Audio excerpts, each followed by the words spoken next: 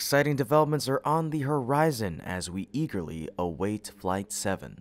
While preparations are complete, a brief delay keeps us anticipating its launch. In contrast, Blue Origin continues to face setbacks, with New Glenn repeatedly delayed even as planned timelines approach. This highlights the growing gap with SpaceX, which recently achieved a new milestone in reusability with the Falcon 9. Across the Atlantic, the European Space Agency is navigating a slight budget reduction, prompting questions about the factors behind this shift. Join us as we explore these updates and more on today's episode of Great SpaceX. Excitement is building for the seventh flight test of Starship, not just because of its new tasks and upgrades, but also due to anticipation surrounding its scheduled launch date. The January 13th launch date previously announced is no longer accurate. Instead, SpaceX updated its plans on Sunday, stating now targeting Wednesday, January 15th for the seventh flight test of Starship. This update was also reflected on the company's official website. This slight delay means the launch is now set for midweek. However, there's little cause for concern as this timeline remains well within two months of Flight 6. The adjustment is likely due to weather-related factors, ensuring the safety and success of this mission, especially when SpaceX plans to catch the Super Heavy booster using the Mechazilla arm and deploy payloads for the first time, justifies the additional weight.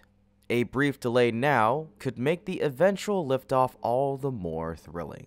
Taking advantage of the extra time, SpaceX has continued refining its systems following the wet dress rehearsal test. On the morning of January 11th, the ship transport stand arrived at the launch pad, and S-33 was subsequently destacked from B-14. This procedure allowed SpaceX teams to conduct final checks and adjustments. On S-33, workers focused on tile inspections and the catching system while B-14 underwent minor system updates including replacing the cowbell vent covers.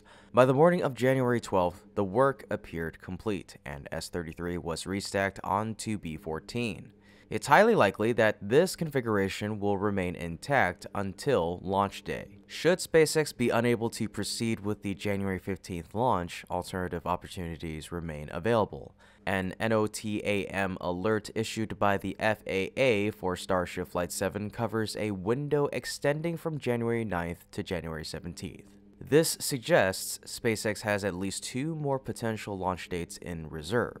However, any backup launch attempt will depend on how far the fueling process progresses during a given countdown. Refueling Starship is a time-intensive process, requiring several days to replenish nearly 11 million pounds of liquid methane and liquid oxygen propellant. As is the case with all developmental testing, the schedule is dynamic and likely to change, so be sure to check in here and stay tuned to our X account for updates, SpaceX wrote in its Flight 7 overview. With so much at stake, patience is key. Stay tuned and prepare for an unforgettable milestone in space exploration. Now, let's dive into the core topic, the New Glenn mission. As of the time this video was created, Blue Origin had yet to launch its much anticipated debut mission. Unfortunately, the preparation for this launch has been nothing short of chaotic. Originally scheduled for January 10th, the mission was postponed to the 12th and then again to the 13th. These delays are just a few of the many that have plagued Blue Origin since its inception. Even with the launch date so near, Blue Origin has repeatedly pushed back the launch hour. By my count, as of this video, the company has delayed the launch no fewer than six times. The stated reason for these delays is a vehicle subsystem issue, but the constant setbacks are quickly turning the company into a source of ridicule. Despite these challenges, Blue Origin is determined to land and deploy its payload on this maiden flight. A successful launch could mark a significant turning point, allowing the company to enter the reuse race pioneered by SpaceX's Falcon rocket. It might even help Blue Origin shed its suborbital company label. However, it'll take an extraordinary effort for New Glenn to compete with Falcon rockets.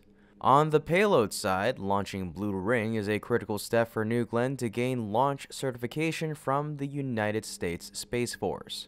This certification would enable it to undertake military and government missions. However, the lack of experience in orbital launches and landing on a drone ship presents considerable risks. After this debut mission, Blue Origin has a busy schedule ahead. The second mission for New Glenn will involve launching NASA's Mars spacecraft Escapade.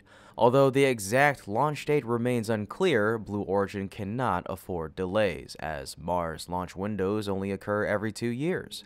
Following this, New Glenn will also take on missions to deploy Kuiper satellites. A promising future seems possible for Blue Origin and New Glenn as they aim to challenge SpaceX's dominance.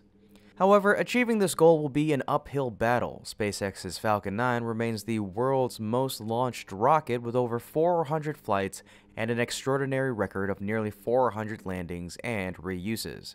So, do you believe New Glenn's debut flight will mark a turning point for Blue Origin this year? Share your answer yes or no in the comment section down below, and don't forget to like the video as well as subscribe to our channel to stay updated on SpaceX's remarkable journey in revolutionizing space exploration. Indeed, Blue Origin's New Glenn rocket is unable to compete with SpaceX's Falcon 9, which continues to dominate with its unparalleled reusability record.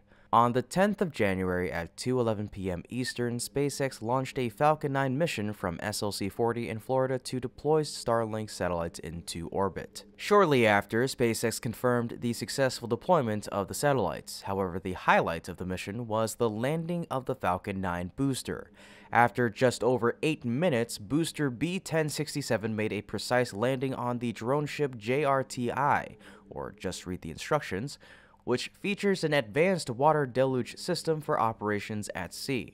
This marked the 106th successful landing on the JRTI drone ship and the 395th landing for SpaceX's fleet overall inching closer to the milestone of 400 total booster landings. More impressively, this mission achieved a groundbreaking feat the 25th successful launch and landing of a single Falcon 9 booster within a single year.